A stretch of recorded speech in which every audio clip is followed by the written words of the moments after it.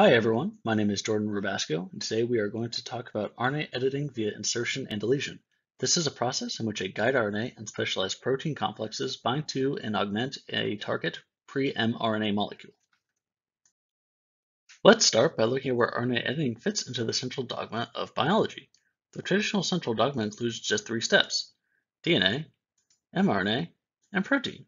However, in eukaryotes, when DNA is initially transcribed, the output product is not a mature mRNA, but pre-mRNA, and pre-mRNA then undergoes extensive processing that may include capping, cleavage and polyadenylation, splicing, and in some cases, editing. It is the process of RNA editing, which we will explore in this video, that changes the, the sequence of the transcript either by introducing nucleotide substitutions or by inserting or removing nucleotides.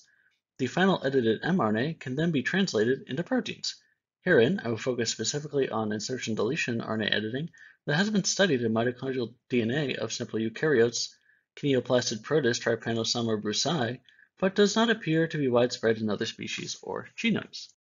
Okay, let us look at RNA insertion editing in detail. At first, we have a guide RNA and a target RNA that share some homology, particularly on the flanks of the transcripts, but have regions of non-homologous sequences in the middle. When the homologous sequences bind to one another, it forms a bubble in the region with a mismatch, as can be seen here.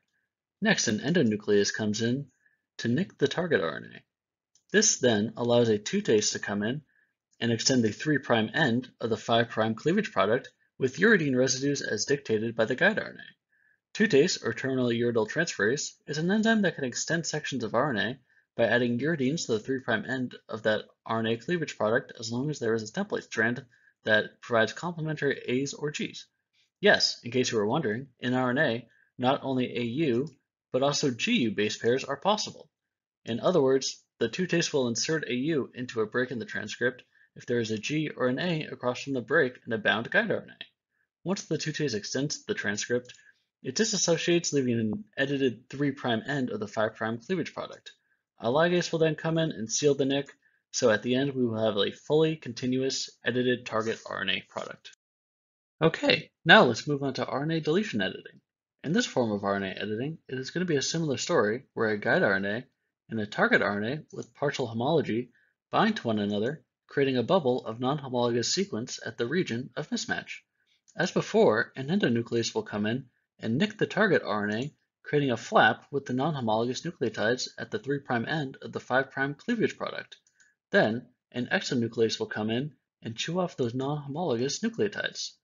Then, much like before, a ligase will come in and seal the nick, creating a continuous edited target RNA.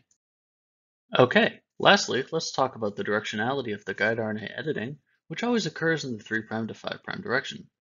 The first guide RNA will come in and bind the 3' end of its target RNA through its complementary 5' end and dictate the changes to be made in the mismatched target RNA sequence.